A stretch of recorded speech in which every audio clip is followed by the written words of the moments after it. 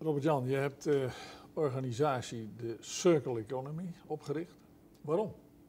Ehm, dat gaat terug, denk ik, tot een dieper besef dat de crisis waarin wij ons bevinden vele malen groter is dan alleen maar een economische of een ecologische of een financiële crisis, maar het is echt een systeemcrisis. En om die aan te pakken ehm, is het nodig dat alle betroffen instanties, organisaties die met deze problematiek te maken hebben, ergens samenwerken. En het idee van de circle economy is dat we een platform creëren wat niet bedreigend is voor niemand. Ehm, de kernkarakteristiek van dat platform is ook non-profit, non-ego. En nodigt eigenlijk iedereen uit om op het platform lid te worden, samen te werken. En dan praten we dus niet alleen maar over het bedrijfsleven, groot, midden en klein. Maar ook de overheid, politiek die mee moet doen, NGO's, maar ook de wetenschappelijke wereld, waar heel veel kennis zit, met name over material sciences, Wageningen, Delft, maar ook internationale instituten, die allemaal gezamenlijk op het platform elkaar treffen, um, bereid zijn samen te werken, dus een inclusief model, embracing. Wij denken dat exclusief denken tot de oude wereld behoort. En als we bereid zijn allemaal inclusief te denken en samen te werken op zo'n platform, dan denken we dat de transformatie die nodig is van de oude lineaire wereld naar een circulaire wereld, dat dat kans verslagen heeft. Maar je spreekt over een platform. Ik begrijp dat het eh, de vorm heeft gekregen van een coöperatie. Uh, kunnen bedrijven bijvoorbeeld lid worden van die coöperatie? Hoe zien jullie dat?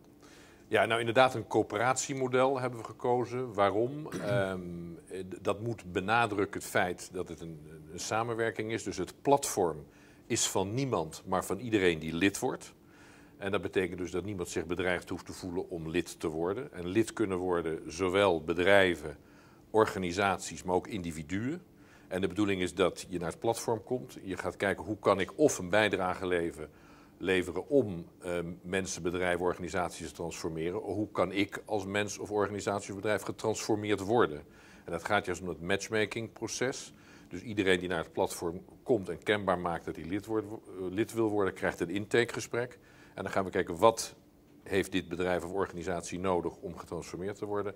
En wie zijn de spelers op het platform die al lid zijn, die kunnen helpen om dat transformatieproces te, te, te versnellen of in ieder geval te accelereren. En dat is de kern van jullie activiteiten, maar zijn er ook nog andere activiteiten die jullie ondernemen? Bijvoorbeeld lobbyen in de richting van overheid en dat soort van zaken? Ja, we kunnen met z'n allen wel beseffen hoe belangrijk het is om naar een circulaire economie te gaan. Want het is wel duidelijk dat de huidige lineaire economie in onze eh, ogen een failliete economie is. er zijn allerlei eh, aanwijzingen waarom het huidige model niet meer werkt.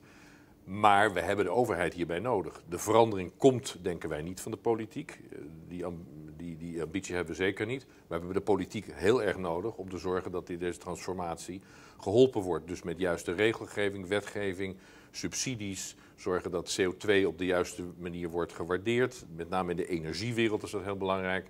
op dit moment zijn er studies gaande, die variëren overigens. Toevallig gisteren nog een gesprek over gehad tussen de 50 en de 500 miljard per jaar. Dat hangt er vanaf wat je tot direct en indirecte subsidies rekent. Die op dit moment naar de huidige energiewereld gaan. Dus om te zeggen, wat je vaak hoort, alternatieve energie bijvoorbeeld, is alleen maar mogelijk um, omdat ze gesubsidieerd worden. Het enige wat we hoeven te doen is met de bestaande subsidies op te houden die de huidige uh, fossiele brandstofwereld aan, uh, aan, subsidies krijgt. Dus daar zit een enorme ruimte om met elkaar daaraan te werken. Wat, wat zijn nou de grootste knelpunten die jullie tegenkomen in het bevorderen van die circulaire economie?